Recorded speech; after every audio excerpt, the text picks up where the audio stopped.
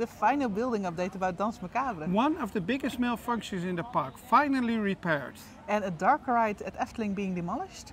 Hi, my name is Joost. I'm Jolanda. From Dutch Theme Park Network. Let's dive in.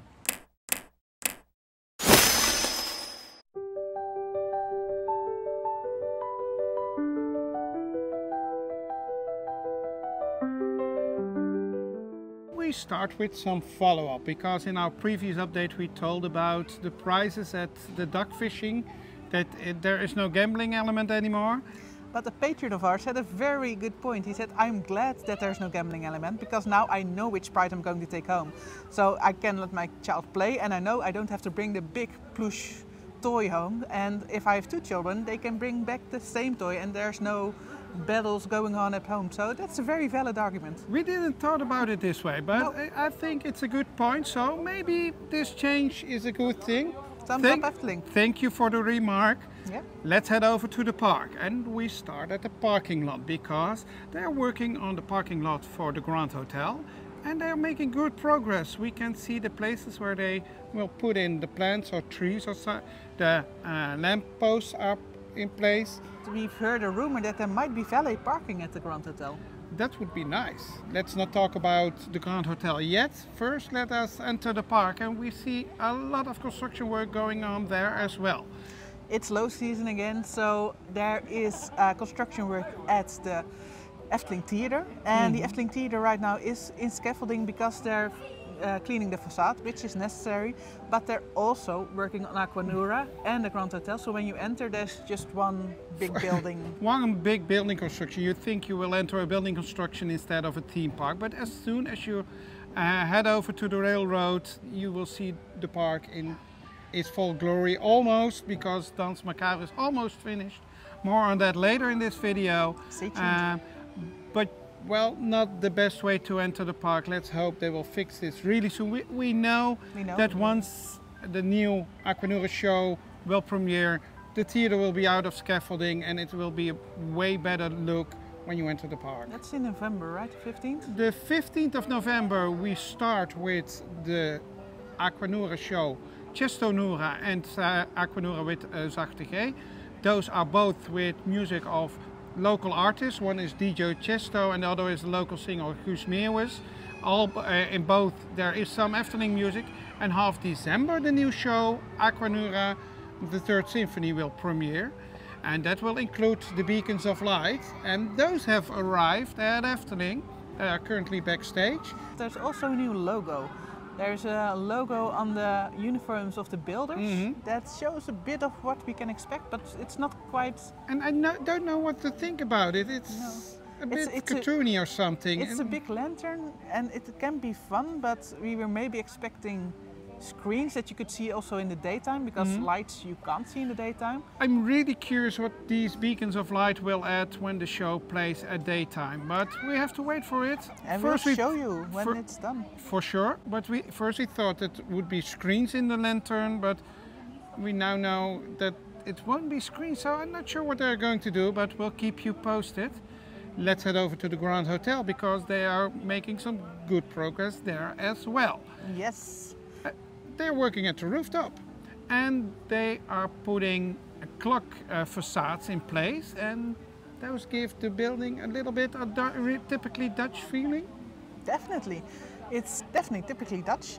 And also, we know the new names of the restaurants. Mhm. We he- heard a rumor, we told you in the last update, it was supposed to, I'm getting attacked here by tree, but um, we heard a rumor that it's supposed to be Pure and Seven. Mhm. And that Pure would be uh, the restaurant downstairs and Seven would be upstairs. And that's not true. No. Upstairs, we are getting Mystique hmm and a cocktail bar. Mystique is the high end restaurant Yep. with A hun- hundred seats, and that's really a lot for a high-end restaurant. So, I'm curious, will they use all seats every night? I guess they won't, but it's a lot of seats, and also a cocktail bar next to it with 80 seats. So, and finally a bar in the world of Efteling, because the bar at the Efteling Hotel will disappear. We don't know yet. They're getting a renovation, and if it will disappear or come back in another form, we don't know. But a bar in the world of Efteling, very fun. And downstairs, we've got restaurant 7. So, 7 won't be the, the upscale restaurant, but the more uh, family, the more family-friendly restaurant. Also table service, but more uh, bistro style. Mhm. And all menus, all uh, All items will All have one of the seven uh, special ingredients, and we've heard something about fairy dust, for example. Don't know what to expect, but we'll make sure to check it out once it's open. definitely. Uh, and we still expect the Grand Hotel to open end of May or early June next year. I think still think thir- 31st of May would be the most fitting date because that's the birthday of Efteling. Then over to Symbolica because there are some works going on there as well. Yes, the big fish, the fabled fish or fable fish in Dutch, is uh, standing still now for quite some time and he is getting repaired. So when you enter the greenhouse area, the fish is supposed to come down and surprise you, Yeah, but you first have to think you're in a normal greenhouse and then discover that Pardoes added some magic to it. yep, it hasn't been working for quite some time, but they are repairing it. Yes, and that is quite some work because to fix this element, the manufacturer had to bring in two items of eight meters long, and they couldn't do that by just normally entering the building uh, from the side. So they had to Open open, the up the rooftop to bring them in from top. Actually, the Efteling was planning to keep the attraction open the complete time and just cover the greenhouse with uh, some blankets, but they decided to close it down for some time. So it's now closed for this week till the 27th of September, and after that, the Fabelfish should work again. And that rounds up Fantasierijk. Let's head over to the fairy tale forest.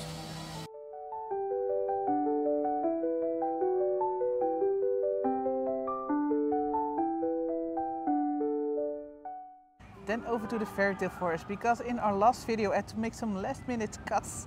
We had a whole segment about the guard at Sleeping Beauty. It was not there. Um, and the day we released the news update, the guard was in the fairy tale forest. and he looks lovely. Uh, he's sleeping at the side of the lake next to the castle, and uh, you see the sleeping guard, and he's moving his head, arm, and leg. And there's also an owl with a really cool hidden detail. There's an Efteling E, the logo of the old logo of Efteling. They had a special E, and that's the key. That's really that's- good. And that's one of the signatures of Sander de Bruijn. He puts in this E in a lot of places, and those are so cool to look for. A nice hidden detail. Almost a hidden Mickey. Yeah, almost, yes.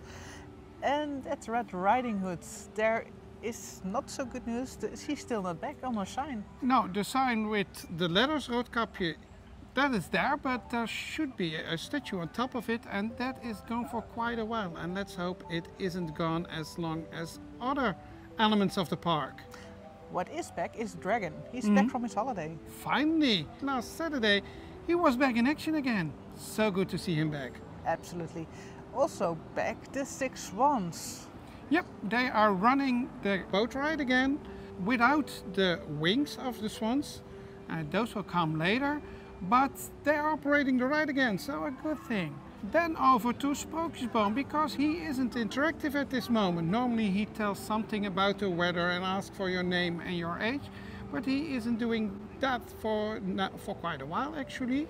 Um, the Efteling uh, told that they will repair that as well, but it will take some time. So for this moment, he only tells his stories, and then something about the forest itself. Yes, the greenery of the forest. They're going to cut some trees, and that's because of the preservation of the uh, greenery and the biodiversity. Mm-hmm. So that's a good thing that they're going to cut some trees in the fairy tale forest. They will do this before opening hours, so as a day visitor, you won't have any inconvenience of this adjustment to the fairy tale forest. And I think it will look really nice because they already did a part between the Gnome Village and Longneck, and that looks really neat. Yes. And some merch. Merch, there is a new pin, a very beautiful pin in honor of the Chinese nightingale, one of the more scarier fairy tales in the forest, but there is a beautiful pin of the nightingale itself. The fairy tale is in the fairy tale forest for 25 years and to celebrate this they released a special pin for 7 euro 50s only available at the Oude Marskramer. Um, but make sure to check this one out. This is a really cool pin. Let's head over to Marerijk.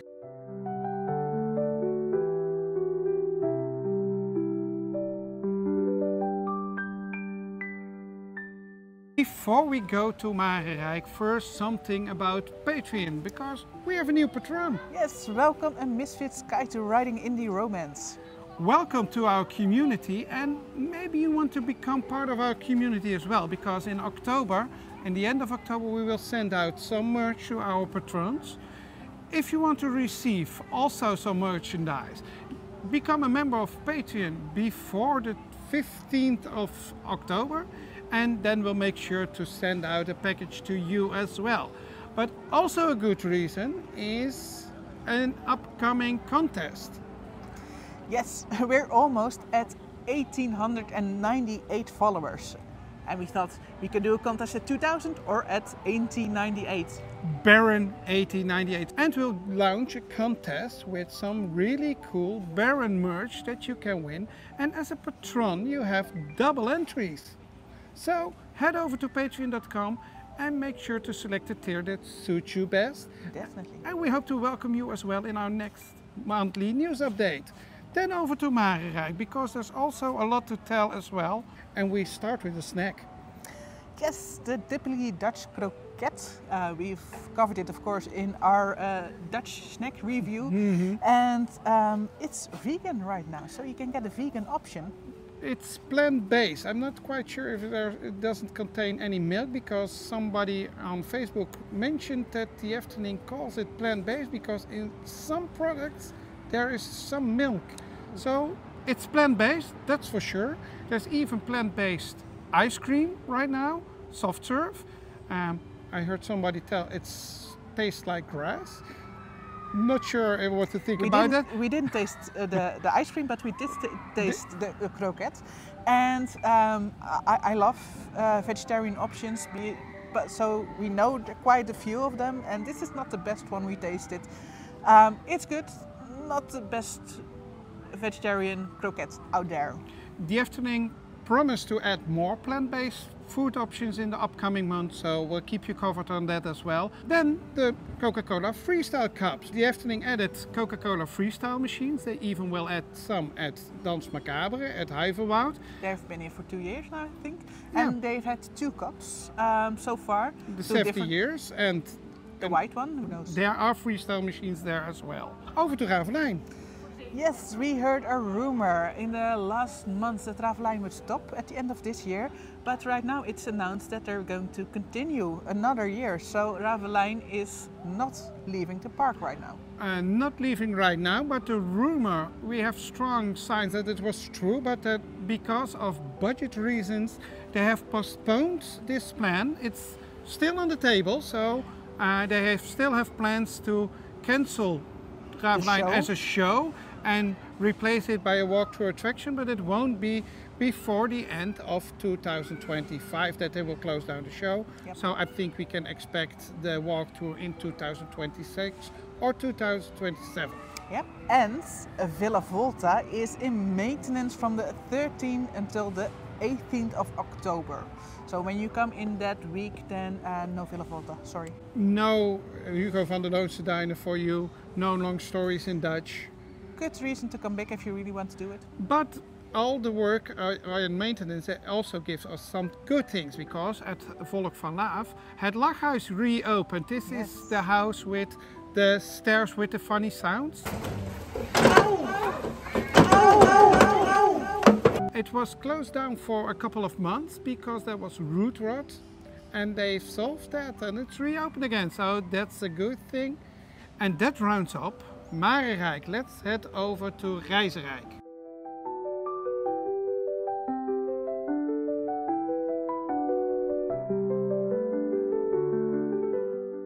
Reizenrijk. There is a new stage for Yoki and Jets. That's the puppet show near Carnival Festival. It was across from the attraction. Right now it's next to the attraction.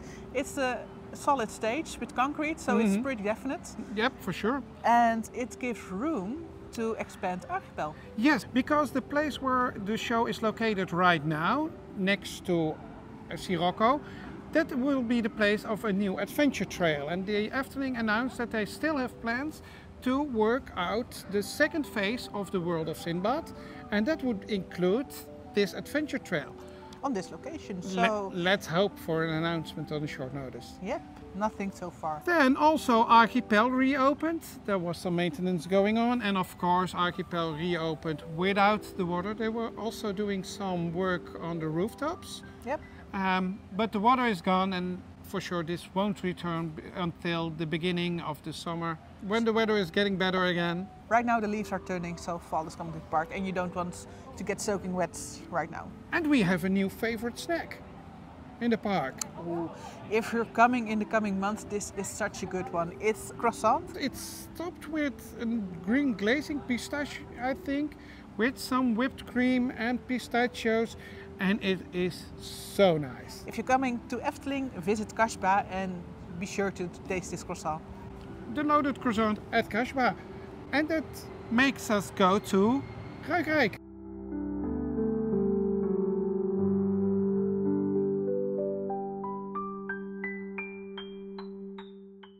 Well, Ruigrijk, something that's not in Ruigrijk anymore. The pedal trains. The pedal trains are now officially part of Reizenrijk. And there was a sign that there was something coming up there because the new lampposts. Uh, at the pedal trains we have the really nice lampposts with the big glass bowl and the compass underneath it. And this is part of Reizenrijk. They didn't move the attraction, it's just organizational change. They changed the line on the map. And also Reizenrijk has new lampposts. Yeah. Really cool ones. These are steampunky. That were the last lampposts they had to add for the works this summer. So now all lampposts across the lake from Gondoletta are replaced by new ones. Really lovely ones. And things that are have been gone in the park for a long time, it's the monkey fountain. It's still not back. In front of uh, Station the East, it was uh, gone last year, and we're waiting for it for over a year, and we don't know what happened. Where is it? Will it come back? We don't know. Uh, but over a year is quite a long time for a renovation of a fountain. Yep, well, we'll see. Also fun to know is that when you live in the Netherlands or in Belgium, there is a theater show coming to uh, lots of theaters with a Efteling show. They do that often, and right now they're uh, making a Joris and the Draak show. And I think they want to make it a series because it's formerly known as Efteling Tells George and the Dragon. So Efteling vertelt Joris and the Draak. Uh, it will be a traveling production yeah, through theaters in the Netherlands and Belgium, They- playing in 2025. they used to have only uh, Sprookjesboom shows uh, that would travel through the theater, and now it's um, also a legend, of course, but more of the Ruigrijk area. They've tried some things as well as the Koekoek show. That wasn't the best one. Uh, they will have a play later this year, A Night at Efteling, together with another company. If you're curious, there are shows on YouTube. Efteling uh, has productions and has them on YouTube, so you can see uh, previous shows there. Full registrations, maybe we can add some links down in the description.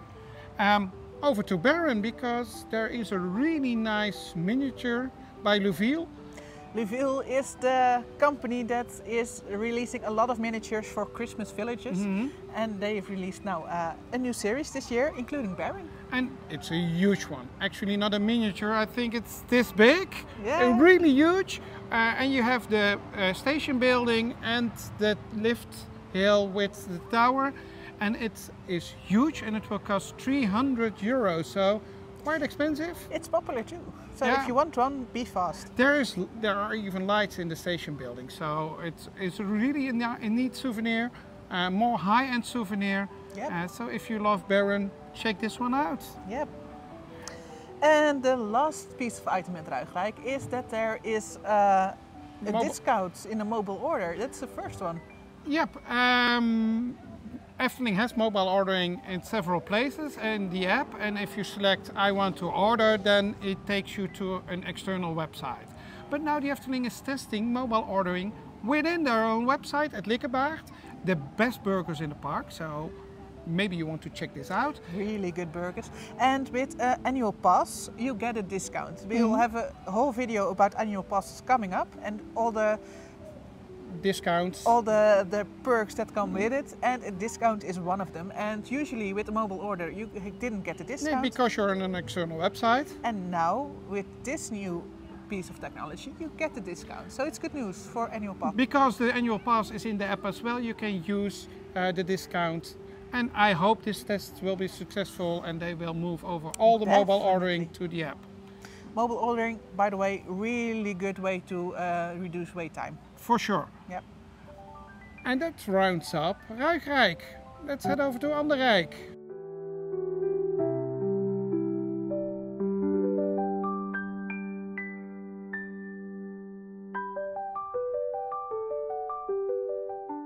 Ander Rijk, it, which includes Danse Macabre.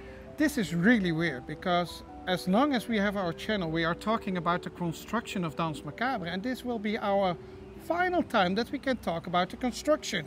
Yes, at the 28th of October, 27th of October, 26th of October. we're uh, getting to enter Dans Macabre. So, Quite sure we'll make a video about oh, that. definitely, definitely. And then the annual pass holders uh, previews will be, we told you about it, and on the 31st of October, and that's before our next news update, um, Danse Macabre will open, and they're making really some progress. Um, they have to. They're the last things, the dots on the I are uh, being done right now. We hear some building works in the background because we're right next to it right now. And uh, it's looking beautiful from the outside. Efteling moved the building fences, and they only have fenced off the final stay apart before the entrance because they're still working there. Uh, we see signing coming up. A really cool sign is the branch in front of it with all the signs direct you to all the parts of the Huiverwoud. And we also saw that they were adding a test seat out if, uh, in front of the building. We'll go in, I'll show you everything you need to know about the attraction, the type, if you can enter, if you want to enter, of course, because it's a scary ride. Uh, we don't know how fast it will go, so we'll tell you everything you want and need to know when we get to enter ourselves. Yes, uh, but this means that maybe some body types can't enter the ride. If there's a test seat, that definitely means that's But not able. uh, uh, it's a good thing they put it away behind a little wall so you don't have to measure in front of all visitors. The 31st it will reopen and finally we see the Huiverwoud in full glory. And we've got some cool merch in our web shop. If you I will stand up for a moment. if you are want to celebrate Danse Macabre with us, then you can. You find these designs in our web shop, uh, dutchthemeparknetwork.com slash shop. If you order right now, you will have your order before the opening of Danse Macabre on the 31st. Yep. So make sure to check that one out. Um, also, news about Fata Morgana. Maybe we'll do a viewing party of the, the special of Danse Macabre. Maybe we can can do that. It will be fun. Hmm, a live stream. Yeah, or a viewing party, like uh, uh, uh, set release dates, and then we can all join. Oh, ma- oh, oh, a premiered video. Maybe. Yeah, Oh. fun. Let us know. Would you like a viewing party? Let us know down in the comments because if you want to, we can make it happen. Uh, let us know and we'll see what we will make. But for sure, we make a video about the previews. Yep. Um, something about Fata Morgana. Because Big rumors at Fata Morgana. It Mhm. needs maintenance, and it needs maintenance bad. There uh, is a lot of stuff not working for a long time now, and even leaks and things growing that Mhm. maybe should not be growing there. It needs big maintenance, and maybe there are rumors that it will need a complete rebuild. Two years ago, the CEO of Efteling announced that there were big works coming up, and we expected those last year, but of course, it didn't happen because Piranha was getting the big refurbishment. So we were expecting the big refurb of Fata Morgana this year. It is But- announced, but only for 10 days, so that is not a big refurb. That's No. just dusting. The refurb we're talking about is for maybe even a closure of more than a year. Yep. And now, because the building isn't in the best shape, maybe they That's, are a, that's an understatement. they are, they are talking about partial of complete demolishment of the Fata Morgana and a complete rebuild. Fata Morgana won't leave the park, for sure. They they keep No, it there, Definitely. but it might be a partial or complete rebuild, and that would be the reason why the big works are postponed again uh, for at least a year. Yeah, it, it needs good research because this will mean a lot of calculations, which are the best options to do. So they uh, postponed the big maintenance and we'll see what will come up for Fata Mhm. Morgana. And then there's also some news in the world of Efteling, outside of the amusement park. And first we head over to the office building Ravelijn. Yes, there is a small fairy tale tree spotted there, and that's a fun one. They're testing artificial intelligence and specifically the voice AI. So you can have a real conversation with fairy tale tree. Mhm. We saw it as Disney, uh, where you could have a real conversation with Mickey Mouse, the cartoon. And That- that isn't really AI, but it could be really fun if Yeah. the character really reacts to what you say. Because now Fairy Tale in the old days he just asks for your age, and your and he age. only said, "Well, that's quite an age. I'm over 100 years." But in this way, he will have a real conversation with you. It could be. They're testing it, and Mhm. it's. I think it's fun that they're testing it. That they're, exp- they're exploring this technology as well. It's prohibited to make videos or photos about it because it's a test and they are using a different voice than for the fairy tale tree himself. But they will make that work. But of course, they have to test what w- will it do when you say something Correct. inappropriate. Yeah. Uh, what w- will it do when you try to make it say things that Efteling doesn't want fairy tale tree to say? For example, a commercial for another theme park. So they're in. It's in the office right now, and it's being tested by employees. Mhm. And some news about where many viewers are waiting for. Tickets for New Year's Eve are on sale. They're on sale, they're popular. It's the event at Efteling that does sell out. So if you want to visit New Year's Eve and you don't have tickets, then buy them now. Be mindful that if you book a stay during those days, the ticket is already included. You don't Mhm. need to buy an extra ticket. So if you're staying on property, don't buy it. If you're staying off property and you want to visit this event, buy a ticket. Or you live in the Netherlands. Of course. Uh, but don't wait too long to buy your ticket. Make sure you can be there. The Efteling does really good fireworks at 12 o'clock. There's a free oliebol, a Dutch dough snack. and a glass of champagne or uh, bubbles uh, with, without alcohol if you're not into alcohol. And we'll be there as well, so come celebrate with us. We hope to see you over there. Yep. And then we told about the recordings of De Land, de Zee in de Lucht, the television program. And it aired. Actually, when we record this, the last episode was aired last Saturday. And it's a big hit for obvious reasons. Uh, for sure. but more than 1 million uh, viewers per episode. So uh, RTL and Efteling. For the Netherlands, that's a big number. Uh, It's bigger than the news, which is uh, mostly the best viewed uh, TV program. But it's just a really success for the Netherlands. For sure, RTL and Efteling already announced the second season, and they're even talking about a winter version for maybe New Year's Eve. Yeah, fun. And that may be recorded in a park in November or December. The December. 4th of November. Recorded, recordings are rumored for the 4th of November. So the stage might return as well to the park, which isn't the most beautiful stage, but but, not sure if they. Do you really want to let people fall into the water on the 4th of November?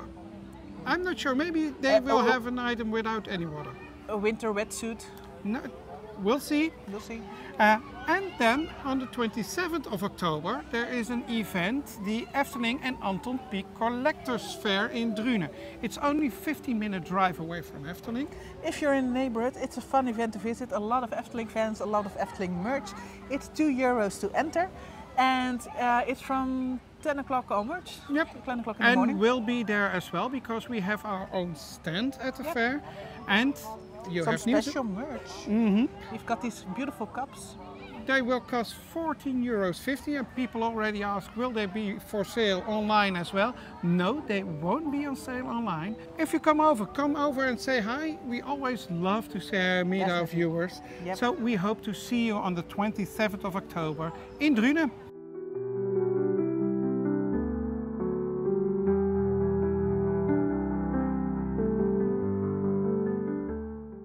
That's all for Efteling, but there is news from other parks as well because it's October.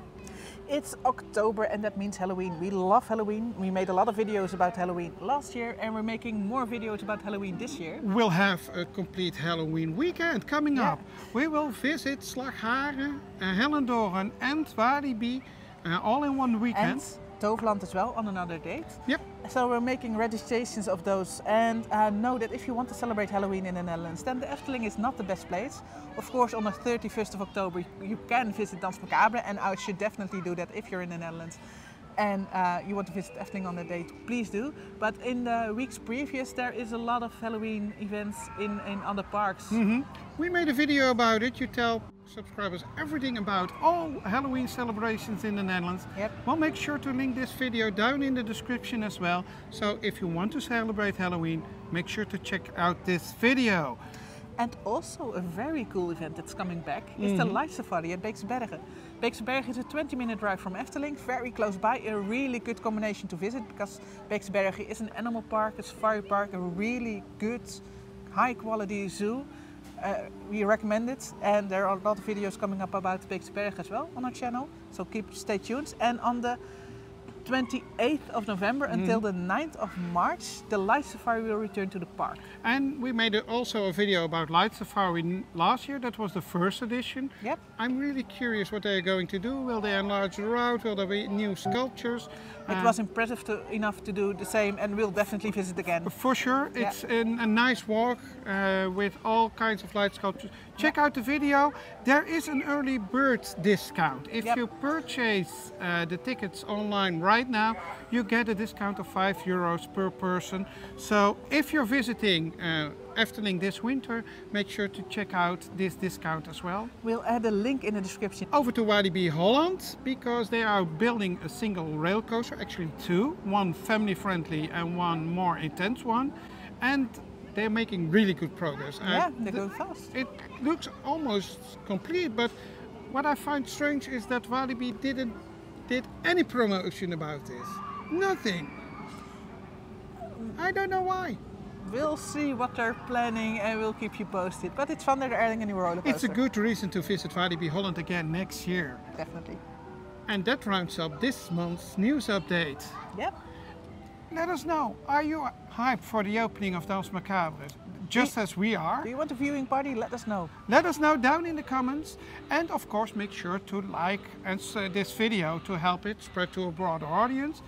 And don't forget to subscribe to our channel to see all our upcoming videos. Yep, there's a lot coming up. There's really a lot coming up. So stay tuned and we hope to see you in the next one. See you.